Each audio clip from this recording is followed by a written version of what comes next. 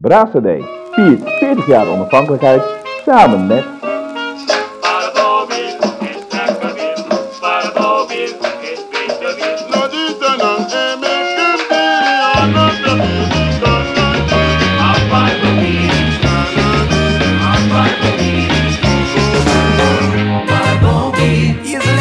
bier.